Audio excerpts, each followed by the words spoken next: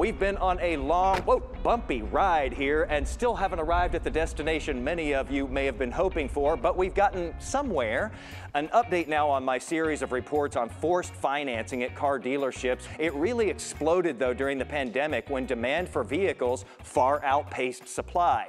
Dealers were in the driver's seat and buyers had to buckle up because many of them refused any outside financing and reportedly some dealers wouldn't even take cash for the car, insisting instead that you finance with their preferred lenders, which allows the dealer to increase the interest rate and get a cut.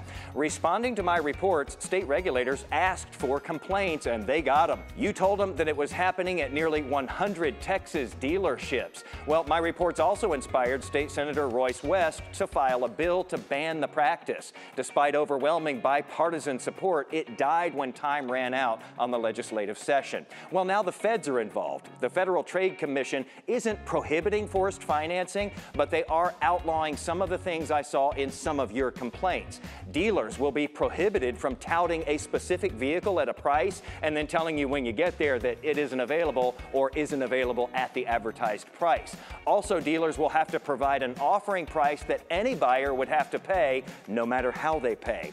Those are just some of the new regulations that the FTC estimates will save consumers more than $3.4 billion and 72 million hours a year shopping for vehicles. Now, they don't take effect until July 30th, and violations can be reported to the FTC. Already, they say they received more than 100,000 complaints in each of the past three years about vehicle transactions. Now, sometimes financing at the dealership may be the best option, or if they force you to use their financing and your lender has a better rate, ask your lender about refinancing it with them right after you buy.